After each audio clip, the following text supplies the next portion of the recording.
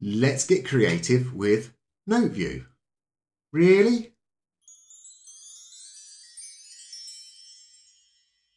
Hello there reason people, Pooh Bear here and welcome to my channel. And today we're going to be getting creative with some player devices and really we're going to be using Note View really as the central hub to bring it all together. I'm going to actually be having two note views on show most of the time and the top one is always going to be showing what my keyboard is playing and the bottom one well you see this is going to be going off and doing some other fancy stuff now as I say I'm going to be using a number of different devices so I've got myself uh, sequences here and uh, I'm just going to drop it down here very quickly for the moment and just so you can hear what we've got playing. So this is a very basic sequence we got.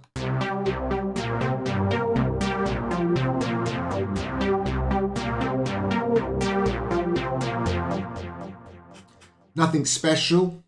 And I've got that sitting on top of a Hamood mod panel. Um, for those who don't know what a Hamood mod panel is, um, again, this has appeared in a number of my videos.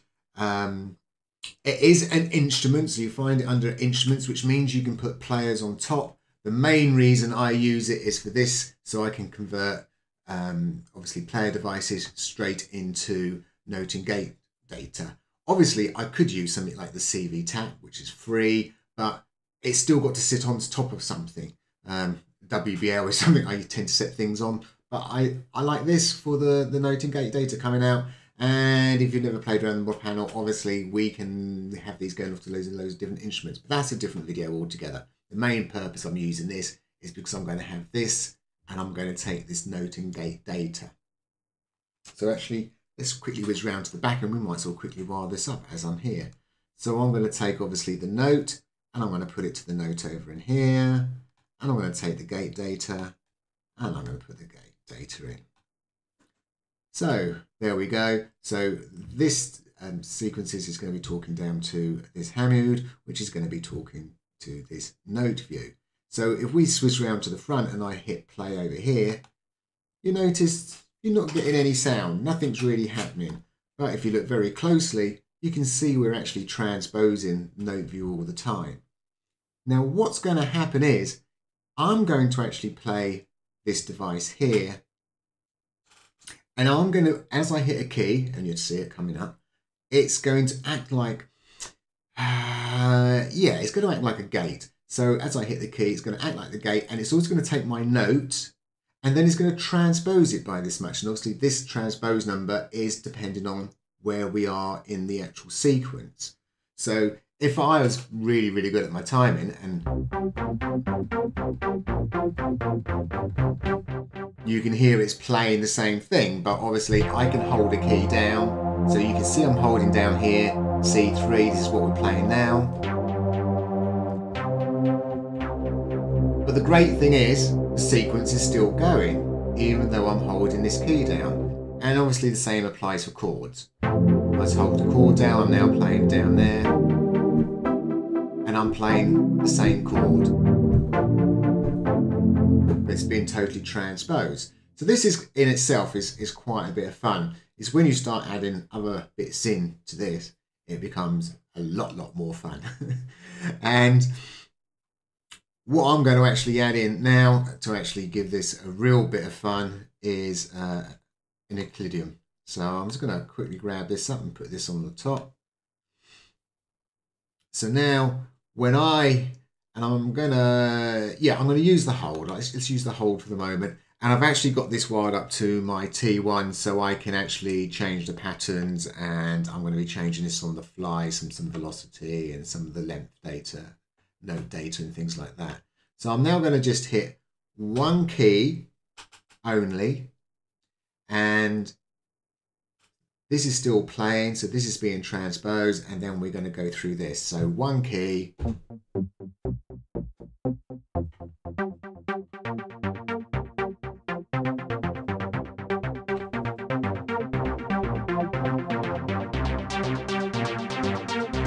hit the key a bit harder. Oops. Several there.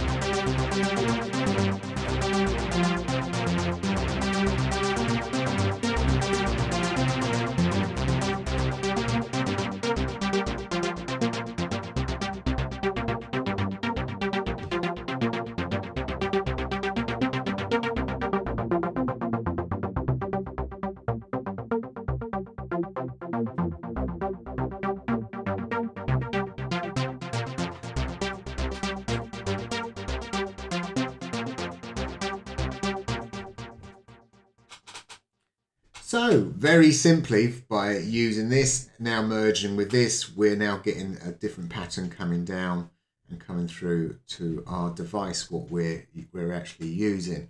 Now, as I say, because I can play my, my hand myself, obviously I can transpose this around.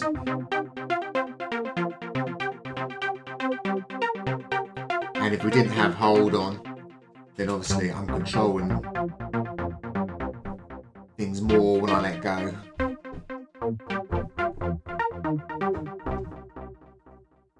So it's just a, a, a, nice little bit of fun of just sort of bringing that in and bringing this in.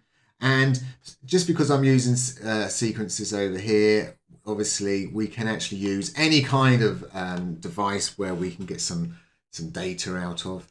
So you know, there's nothing stopping you using obviously beatmap sequences. We've got polystep. You can use a drum sequencer, compulsion. We've got a sequencer here in Thor, good old Matrix, the AS1600, and don't forget things like um, like like with Predator. You know, you can get some very interesting patterns coming out of the the arpeggiator stuff. What you've got here, because don't forget with the uh, rack extension version, there's absolutely tons of uh, outputs on these things, and they are quite powerful. The uh, Pen stuff, and obviously you've got things like your note recorder, and propulsion, and Corgi, and there's there's quite a few others as well which you can actually use. Um, and and it's just virtually wiring them up in the same way. I'm gonna grab, let's grab this one over, shall we? So let's grab over a beat map this time. So by not having hold on, it is going to play the first note. So I could turn this off. So in fact, actually, let's turn this off to start with. And then I'm just going to turn the beat map on. And if you've noticed, what I've actually done is I've put everything to uh, different C keys, so it's not going all over the place.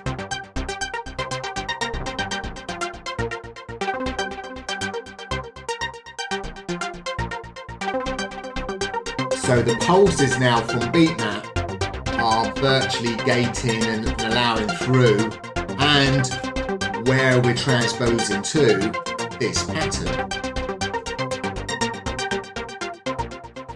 Now I'm going to turn on uh, Euclidean. It doesn't matter what patterns I'm selecting because it's going to keep me refiring and keep going off the front one. But what comes in handy about using this in conjunction with this is when I start playing around with my velocity and start playing around with my lengths.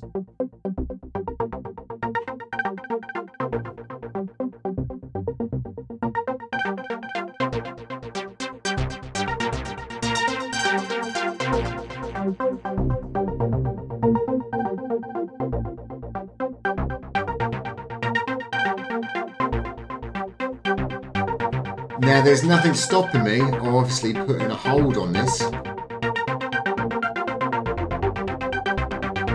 Now effectively we're not, we'll be driving it again from, the gate would be driven from the Euclidean.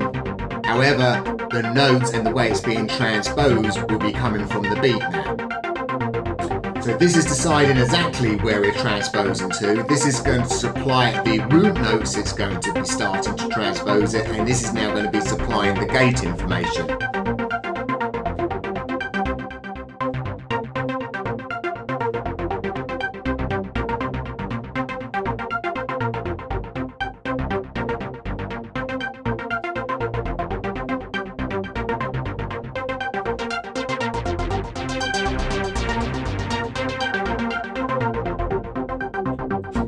Let's just take this one step further as well. So the great thing about, um, well, as we know, we've got things CV, so we've got our length, we've got velocity, and we've got our density. So down here, I've got myself a simple little LFO wired up, and I'm, I'm using the um, unipolar coming out, and I've got two on random, swizzle round to the front. Let's have a quick look at these a bit closer. I've got two random, and if you notice, I'm actually using the smooth. So there's two randoms on the little LFO. There's the, the sharp, square, and then we've got what we refer to the smooth. So it's so when it changes the value, it's just going to more smoothly go between them. So if I start to turn these on, because we're using CV, you just got to remember that if we turn these down a bit at the front, that's going to be our base value. If you take velocity all the way down to zero, it'll actually go dead. So let's and the nice thing about uh, as well is because even though I'm using CV, you can see the values all changing. This is something you don't usually get to see what's happening, and obviously the patterns are changing as well. On a lot of devices, when you're using CV, you don't see what's actually happening. So just a very, very quick recap what's going on here. Beatmaps is applying the actual bass notes. Euclidean is really doing the gating, and obviously we've got the sequencer at the top, which is doing deciding where we're transposing to, and and note view's doing that all for us. So it's bringing the notes in, it's doing all the transposing, and then it's going down to my instrument, and we can just have a lot of fun with this sort of stuff.